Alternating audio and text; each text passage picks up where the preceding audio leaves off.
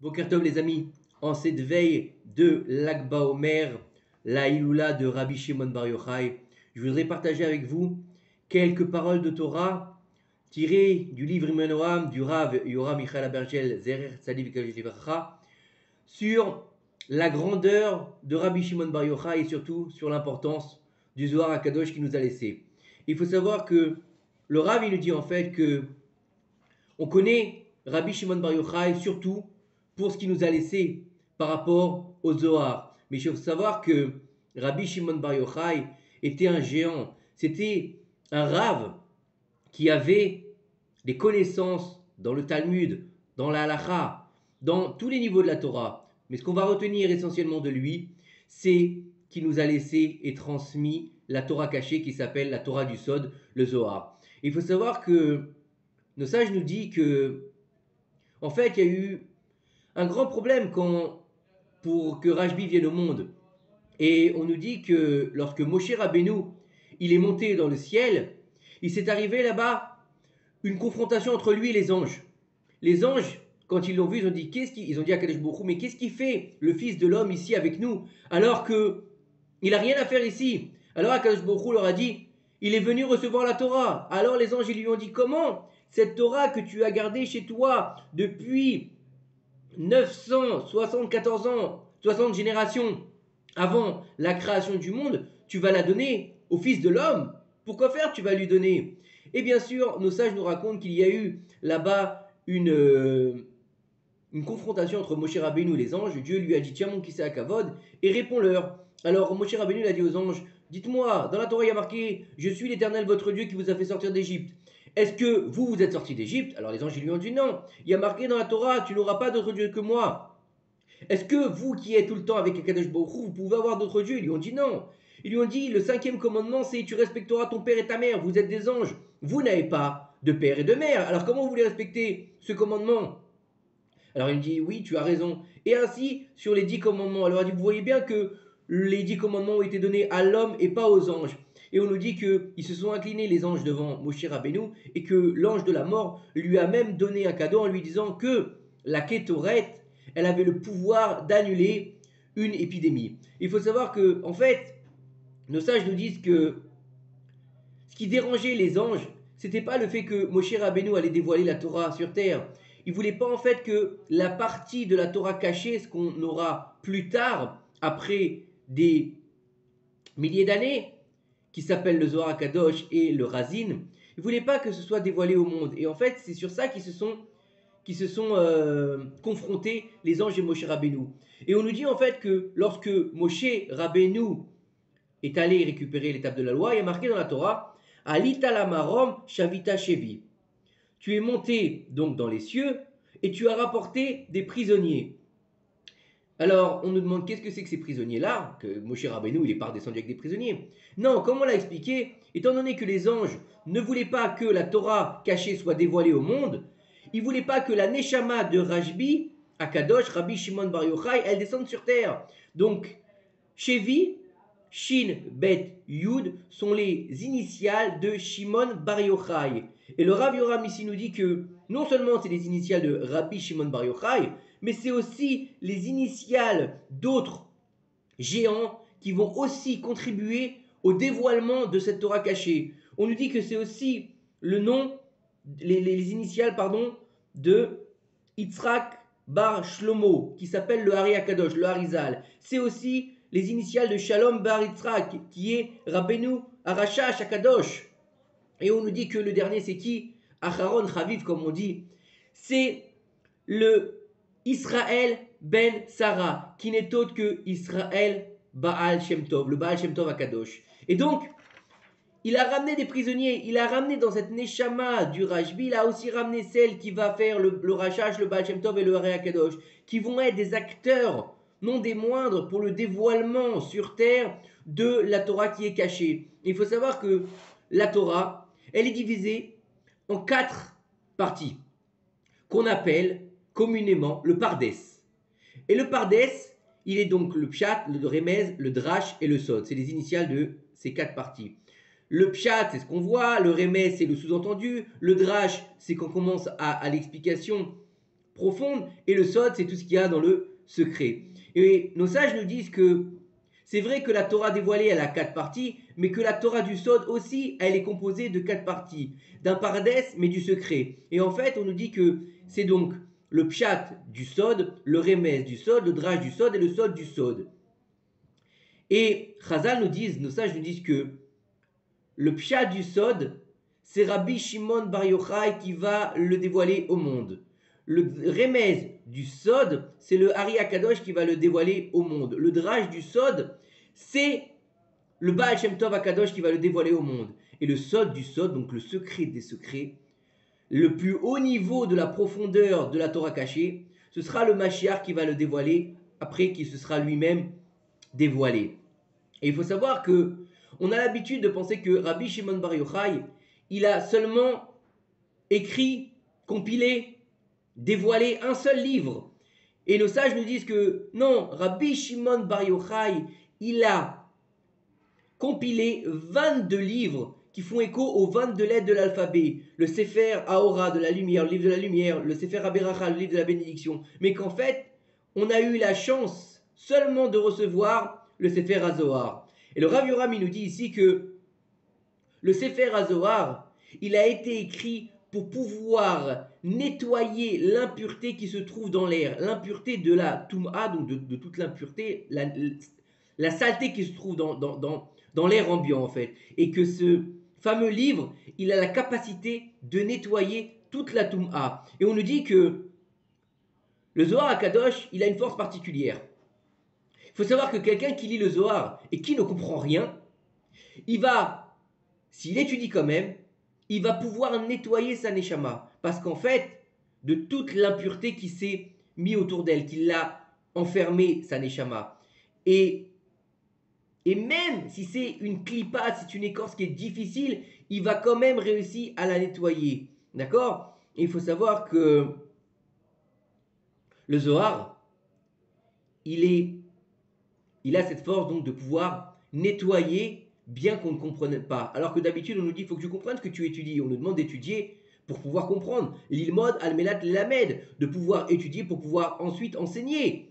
Donc, si tu comprends pas Zohar, comment tu vas l'enseigner? Non, il a un niveau particulier, un niveau qui te permet, même si tu ne le comprends pas en seulement en lisant ce que tu as devant toi, de nettoyer ta neshama et de nettoyer l'air ambiant. À tel point qu'on nous dit que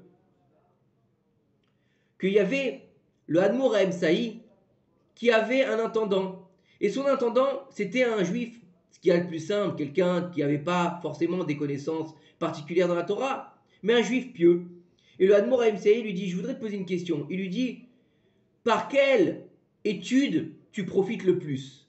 Tu as le plus de kiff Est-ce que c'est par l'étude des Mishnayot ou par l'étude du Zohar? Alors le juif qui était simple, il lui a dit, je dis la vérité mon maître, j'ai plus de plaisir à étudier le Zohar, bien que je ne comprenne pas un mot de ce que j'étudie. Et par contre, les Mishnayot, bien que je comprenne tout ce que je dis, j'ai moins de, j'ai moins de kiff quand j'étudie les Mishnayot. Alors, le Admour il lui a dit, écoute, je vais t'expliquer pourquoi. Il lui a dit, c'est vrai que toi, tu ne comprends pas ce que tu vas lire quand tu étudies le Zohar. Tu ne comprends rien du tout. Mais Taneshama, elle, elle comprend ce que tu étudies. Elle, elle est nourrie parce que tu étudies bien que tu ne comprennes pas. Elle, elle est totalement nourrie parce que tu lis. Et en fait, il te dit que le Sefer Atania, il va pouvoir nettoyer ta Neshama même si tu ne comprends rien. Tu ne comprends rien, pardon. Et il faut comprendre que toutes ces personnes qu'on a vues, tous ces rabbinim, le Rabbi Shimon Bar Yochai, le, le Hari Akadosh, et le Baal Shem Tov, ils ont eu des, vies qui étaient très particulières. Rabbi Shimon Bar Yochai, il était enfermé pendant 12 ans dans une grotte. Le Baal Shem Tov, il a dû toujours aller de ville en ville pour réparer. Et en fait, ils sont venus nettoyer l'impureté qui se trouve sur terre par leur, dans le, dans, par leur, par leur, par l'endroit où ils étaient et aussi par leur grandeur de Torah et par le fait de rencontrer des personnes qui sont venues réparer aussi ce qu'ils avaient fait comme erreur. Et en fait, il faut savoir qu'il y a une grande force donc dans l'étude du Zohar, quel que soit notre niveau, il est important de prendre sur soi d'étudier le Zohar et d'étudier la paracha de la semaine dans le Zohar. Pourquoi? Pour voir en fait que la grandeur du Zohar, elle va nous éclairer comme les lumières que nous allons faire ce soir, les feux que nous allons faire pour Rabbi Shimon Bar Yochai, pour ça, il là ce soir et par ce grand mérite que aussi les 24 000 élèves, c'était la fin de l'épidémie et qu'il va nous rester ensuite 5 Talmidim que Rabbi Akiva aura fait pour pouvoir continuer à diffuser la Torah qui seront entre autres Rabbi Meir Balanes, Rabbi Shimon Bar Yochai, Rabbi Yossé, qui vont continuer le travail de Rabbi Akiva malgré la perte des 24 000 élèves et qui vont continuer à diffuser la Torah de par le monde. C'est la Torah qu'on a aujourd'hui. Et le Rabbi Yoram, il nous dit, je me rappelle que depuis que j'étais petit, je voyais mon père, mon maître, qui étudiait le Sefer du Tanya tous les jours. Et même si c'était difficile, parce qu'en fait, le livre qu'il avait, le, père du Rav Yoram, c'était un livre qui était avec une vieille impression et que le, la lecture était, l'écriture pardon, était une écriture de Rachid, donc pas, pas une écriture simple en hébreu. Et malgré cela, il, il étudiait tous les jours le Zohar et il a mérité de finir l'étude du Zohar totalement 11 fois le, père du Rav Yoram. Donc c'est une grande, une grande force, une grande de, de d'étudier le Sefer Zohar. Et il faut savoir que on a dit que ici que c'était dans la dans la Shoah Arura, on nous dit que et on le sait, c'est nos frères d'Europe de l'Est qui ont plus été touchés par la Shoah et que les les plutôt les pieds noirs, n'ont pas été touchés par la Shoah ou beaucoup moins. Et on dit que ici, en fait, pourquoi ils ont été protégés plus les, les, pieds noirs que les Ashkénazes eh bien parce qu'en fait, ils étudiaient le, le, le, Zohar. Ils avaient un limoud du Zohar qui était euh, Kavua, il était régulier. Ils étudiaient le Zohar et par le ciel, on les a protégés pour pas que en fait, l'Allemagne nazie Marchemam vient, vient, viennent les, les attaquer. C'est une grande force de protéger, qui protège l'âme Israël, le Zohar Akadosh. Et à ce propos-là, on a une très belle histoire qui nous raconte que Rabbi Mordechai, Rabbi Mordechai c'était un juif pieux, riche et qui aimait la Torah. Rabbi Mordechai vivait au Maroc à Marrakech. Et Rabbi Mordechai, il avait une, particularité, c'était qu'il adorait le Zohar HaKadosh, beaucoup plus que les autres études. Et il avait décidé, pour que le Zohar il soit euh, étudié régulièrement, il avait décidé que tous les vendredis, les jeudis soirs, il allait prendre plusieurs avrechim et il allait leur demander d'étudier la, le Zohar de la paracha de la semaine la nuit pour arriver avec étudier bien sûr avec eux pour arriver le, le, Shabbat avec cette sainteté complète du Zohar et par cette étude de sortir la, la, face cachée en fait de l'étude de la Torah. Et il avait décidé pour ça de payer ces Avrechim en leur disant vous étudiez toute la nuit, tous les jeudis, le Zohar Kadosh avec moi, et moi, je m'occupe de pourvoir à tous vos besoins du Shabbat. Vous n'avez rien besoin de faire. Je vous amène la viande, je vous amène les, les, les, les légumes, je vous amène les boissons, je vous amène tout ce qu'il faut. Y a juste vos femmes qui devront euh, préparer. Alors bien sûr, les Avrechim, ils ont accepté la proposition de Rabbi Mordechai et ils ont étudié le Zohar comme il fallait. Et Rabbi Mordechai, lui, il avait une ferme. Et dans cette ferme, c'était un arabe non juif qui tenait la ferme. Ça faisait plus de 30 ans qu'il travaillait avec lui. Et ils avaient des très bons rapports cordiaux entre eux. Et ça se passait très bien. C'était le responsable de sa ferme qui gardait ses bétails. Et un matin, un, jeudi matin, Rabbi Mordechai, avant la prière, il a été après la prière, pardon, il a été, il a été, il a été là-bas à sa ferme et il a été voir son intendant euh, arabe et il lui a dit, écoute, je voudrais pour pouvoir prendre deux veaux pour pouvoir leur faire la shrita, pour pouvoir donner à manger de la viande à ces fameux Avrechim pour Shabbat Kodesh. Et qu'est-ce qui s'est passé? Quand il est arrivé Il a vu que l'arabe il avait une drôle de tête. Il n'était pas comme d'habitude. Et il lui a dit ça va, tout va bien? Et là, l'arabe il l'a attrapé et il lui a dit je vais te tuer. Je vais te tuer et je vais prendre tout ton argent. Alors, Rabbi Mordechai lui a dit Attends, je comprends pas, ça fait 30 ans qu'on travaille ensemble, j'ai jamais eu de problème avec toi, j'ai toujours respecté, tu es toujours bien payé. S'il te plaît, écoute, non, ne me tue pas, je vais te donner des pots de vin. Et là, l'arabe, il veut rien entendre. Non, je vais te tuer, je te supporte plus, à juif, et je vais te prendre tout ton argent, et je me sauverai après. Alors, Rabbi Mordechai, il voit qu'il a aucune solution pour pouvoir faire changer d'avis à son employé. Qu'est-ce qu'il lui dit? Il lui dit Écoute, regarde, pendant 30 ans, je me suis bien comporté avec toi. Laisse-moi une seule faveur. Il lui dit Tu sais, nous les juifs, avant de mourir, on doit faire le vidou on doit faire le tachanoun pour pouvoir arriver devant un Kadosh Baruch en ayant fait teshuva. Laisse-moi 5 minutes pour faire le vidou, s'il te plaît. Alors l'arabe, lui dit Bon, écoute, ok, 5 minutes, je te laisse. Et après, je te tue. Il lui dit Tu feras ce que tu veux de moi après. Et là, Rabbi Mordechai, il se lève, il commence à pleurer. Et au lieu de dire Oui, écoutez, euh, Akadosh Baruchou, j'ai fauté, écoute Akadosh Baruchou, ma femme, mes enfants. Non, il fait une prière. Il dit, Rabbi Shimon Bar Yochai, écoute-moi.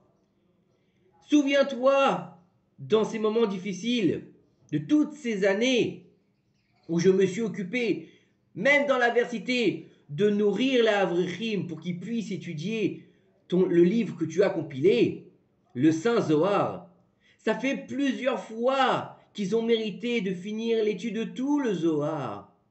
Si tu donnes à ce, à ce, à ce non-juif, rachat, ce mécréant, la possibilité de me tuer, eh bien, ce qui va se passer, c'est que l'étude sera arrêtée et il n'y aura plus personne pour étudier ton livre.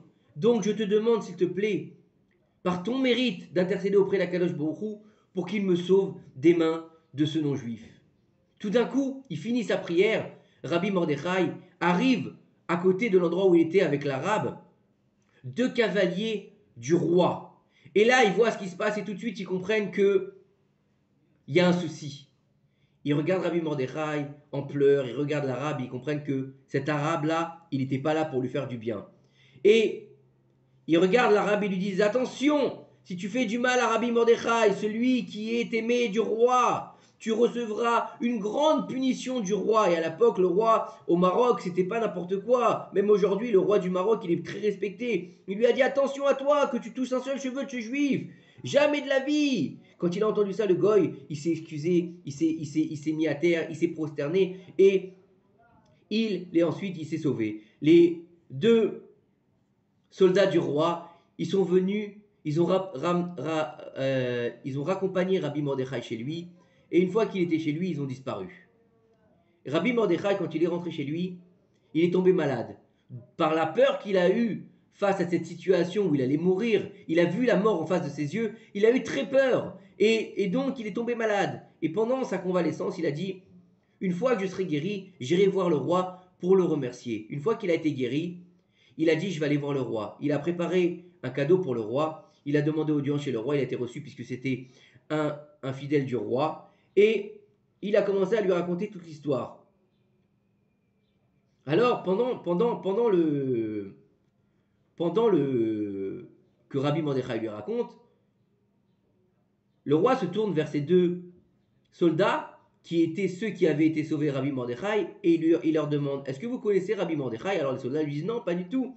Alors il dit à Rabbi Mordechai Est-ce que tu es sûr que ce sont eux qui t'ont sauvé la vie? Il dit oui, c'est eux qui m'ont sauvé la vie, tel jour, telle heure, ils étaient dans ma maison. Le roi lui dit c'est pas possible. Il dit pourquoi c'est pas possible? Il dit parce que ils étaient toute la journée avec moi. Alors le roi du Maroc qui est un non-juif, il lui dit quelque chose d'exceptionnel à Rabbi Mordechai. Il lui dit tu sais, Rabbi Mordechai, mes deux soldats, ils n'ont pas quitté le palais de la journée. Mais vous, vous savez les juifs, vous avez toujours une protection particulière qui vient du ciel. Apparemment, votre Dieu, il a envoyé des anges du ciel qui a ressemblé à mes soldats pour pouvoir te sauver la vie. Et là, à ce moment-là, le roi, il a dit à ses deux soldats, allez me chercher l'employé arabe de Rabbi Mordechai et vous lui faites la peau. Il doit payer pour ce qu'il a fait aux Juifs. Il faut savoir que les Marocains, avant que tous les problèmes se passent, ils avaient un grand respect pour les juifs. On l'a vu encore il y a quelques années, le roi du Maroc, parce qu'il y avait une sécheresse au Maroc, il a demandé aux Juifs du Maroc de prier pour la pluie. Et Rabbi Mordechai, il a compris qu'il avait eu un grand miracle. Et plus tard, on lui a dévoilé du ciel que en fait, les deux soldats qui avaient été envoyés pour le sauver n'étaient autres que Rabbi Shimon Bar Yochai lui-même et Rabbi Elazar son fils, qui étaient descendus du ciel habillés dans, dans l'apparence de ces deux soldats pour le sauver, pour lui faire preuve de gratitude pour tout ce qu'il avait fait pour l'étude du Zohar tout au long de ces saintes années. Donc en fait, il faut comprendre que l'étude du Zohar, elle est particulière, elle a une possibilité d'une part de nous protéger, d'autre part de nous nettoyer la neshama et d'autre part de nous relier au tzaddik. Parce que il faut savoir que lorsqu'on étudie les paroles d'un tzaddik, qu'on étudie le livre de Rav Vadia Yosef, qu'on étudie le, le, livre du Rav, le Rav Yoram, qu'on étudie le Zohar Kadosh,